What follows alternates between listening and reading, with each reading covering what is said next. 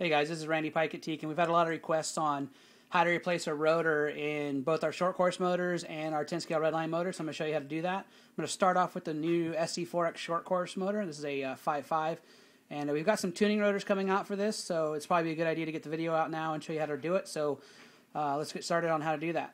So what you're going to do basically is take out the six mounting screws. I've already taken five out. So just take those out. They're a 3 30 seconds wrench. You're going to remove the front end bell. Just set this aside. Inside this is going to be a red phenolic spacer. Just go ahead and use your Allen wrench to, to pop this out. And then you're going to see what's the what's called the front Y plate. And then after this, you just simply pull the rotor out, and you're done. Uh, there's no spacers or anything in, in that are going to be coming loose on our, our current motors. They're all stuck to the shaft. Uh, basically, that's it. Once you replace it, take the new rotor, slide it in, going to wiggle this around a little bit to get it seated in the rear bearing. Uh, these are very hard to do and very difficult on the SC4X. Uh, pain in the ass, but it's the only way to do it.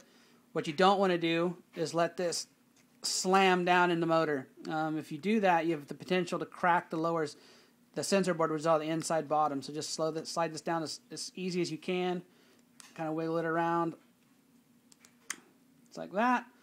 Put in the phenolic spacer. That's important. Do not forget to put that in slide the front end bell on. Now, on this end bell in particular, you'll notice that we've got 3 millimeter and 4 millimeter mounting screws depending on your application.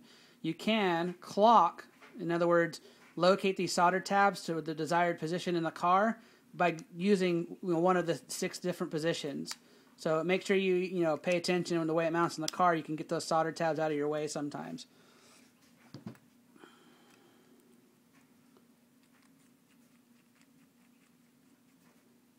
That's pretty much it. Basically put the rest of this remaining screws in and you're done.